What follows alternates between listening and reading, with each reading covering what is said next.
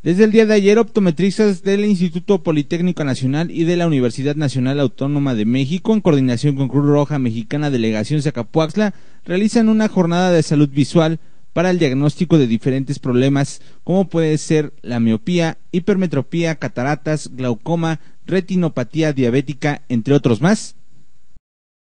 Es un examen muy completo. Ahorita, si gustan, pasamos con la doctora para que vean el tipo de examen que está haciendo y les explico las pruebas que se hacen.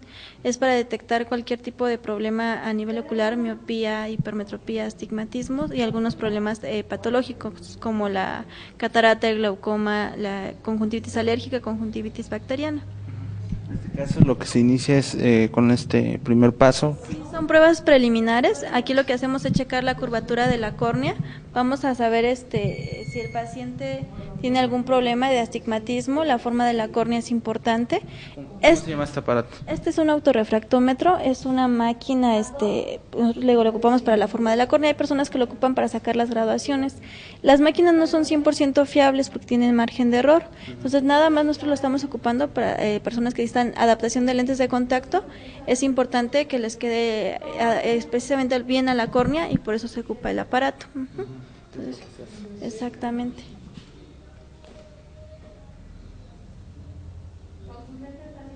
Aquí está el ojito. Este,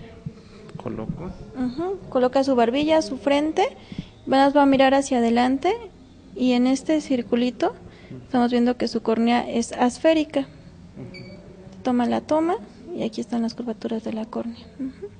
¿Esas son las medidas? ¿Esas medidas también? Sí, es la, estas son las que nosotros ocupamos. Aquí sale su graduación, que no es fiable. El paciente es este trabajador de nosotros.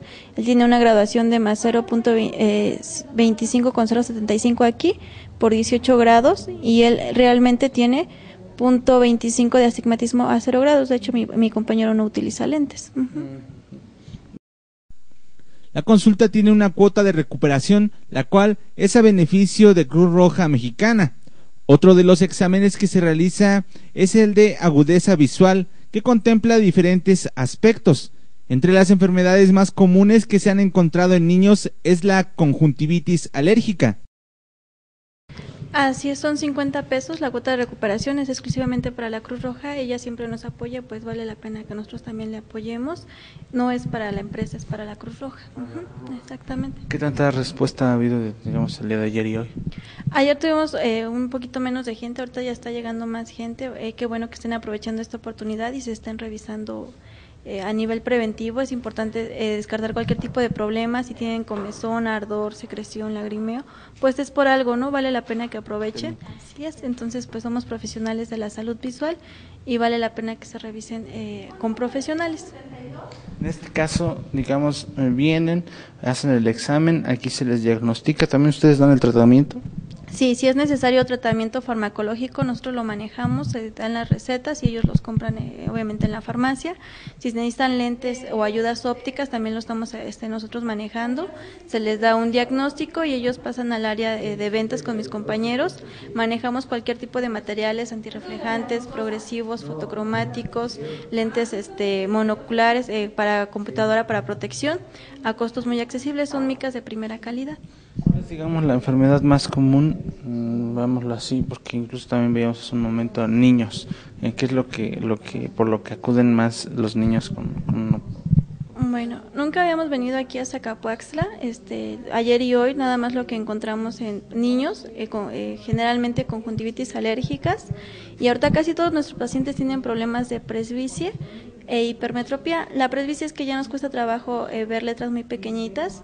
A veces cometemos el error de, de, comprar lentes en la calle. Esos lentes no están eh, graduados a lo que nosotros necesitamos, sino en un estudio en general. Entonces, muchas veces exactamente no es igual el ojo derecho al izquierdo, pues mucho menos va a ser igual al de otras personas. La retinopatía diabética y el glaucoma son las principales causas de ceguera por lo que es importante que aquellas personas que sean hipertensas o diabéticas acudan a consultarse para ser evaluados y prevenir cualquier problema mayor. Así es, a nivel mundial la diabetes, bueno, retinopatía diabética y el glaucoma son las principales causas de ceguera. Es importante que los diabéticos se revisen después de ocho años de ser eh, diabéticos, por lo menos cada seis meses la retina. Es un momento paciente, bueno, que incluso le, le da algunas recomendaciones, ¿no? Porque tiene problemas en este sentido. Así es, ya tiene algunas eh, manchas en su retina y algunas fugas de sangre pero aquí el principal eh, diagnóstico, más bien el principal tratamiento es que se chequen el azúcar y que la controlen. El paciente de hace un momento pues tenía su azúcar en 300, lo normal es, 120, entonces estaba muy elevada. Si él continúa haciendo eso, el metabolismo se altera y se empieza a dañar la retina. La retina es la parte sensorial del ojo, si se daña ya no hay quien lleve señales al cerebro y de ahí viene la ceguera. Digamos que esas venitas se, se inflan por la presión sanguínea. Exactamente, empiezan a haber fuguitas de sangre.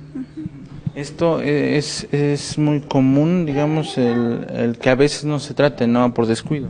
Así es, porque como ellos eh, no se revisan, no se dan cuenta y nunca, eh, ya cuando se dan cuenta ya es demasiado tarde, ya cuando de plano no ven buenas imágenes, es cuando eh, requieren, bueno, van a acudir a una revisión y ya es muy tarde. Entonces hay que aprovechar estos este, eh, programas a nivel preventivo.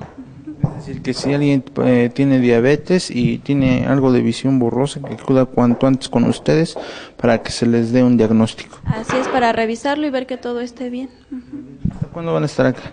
Nos vamos el viernes, les digo, de 10 de la mañana a 6 de la tarde, eh, aquí en, en, la quinta es San José. Para SBS Noticias, José Rosas Cano.